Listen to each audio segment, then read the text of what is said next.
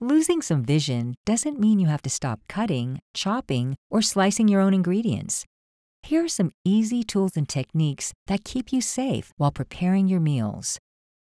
First, try doing all of your prep on a baking sheet or large tray. Everything stays in one place for easy cleanup.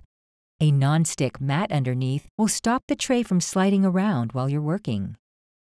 Now, get everything you'll need out and ready.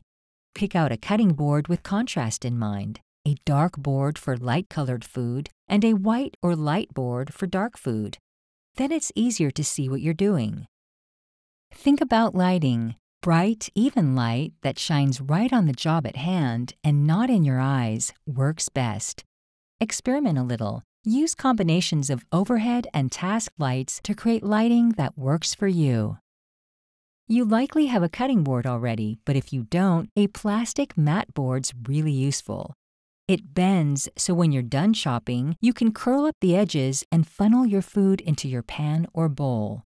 The resource section has information on this and other types of cutting boards. Some are adapted for low vision. There are plenty of knives available with different adapted handles and grips. In general, a sharp chef's knife is best for chopping and dicing. Here's a safe way to grip your knife. Your index finger and thumb should be opposite each other on either side of the blade, while your other three fingers are sort of loosely curled around the handle. You should be gripping the knife mainly with your thumb and index finger. You don't need perfect vision to stay safe if you use the same method for holding your food that professionals use. It's simple. Hold what you're slicing down on the board with your fingertips. Keep your fingers slightly curled under and your thumb tucked away behind them. Then your fingers won't be in the way of the blade, and the outside edge of your knuckles can act as a guide for the knife blade.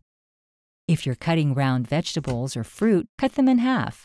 Put half of it flat side down on the cutting board to stabilize it. Hold it with your non-cutting hand so it won't move while you're cutting it. You can use a smaller paring knife to peel just about anything, Let's look at the correct peeling technique. Peel away from your body at a 45 degree angle. Start with half of the vegetable to keep your working surface area easier to manage. Whether you're in the middle of a recipe or all done for the day, stay safe by always keeping track of where your knife is placed or stored. Knives are the one tool in your kitchen you don't want to search for by feeling around, whether that's in a sink or a drawer.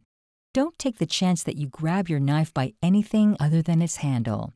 One more thing, when cleaning up, make sure to put the knife either behind the faucet of the sink with the blade facing away or immediately wash and store it separately. Simple tools like a tray, a contrasting cutting board, good lighting, and good cutting technique can make prepping foods safe and easy.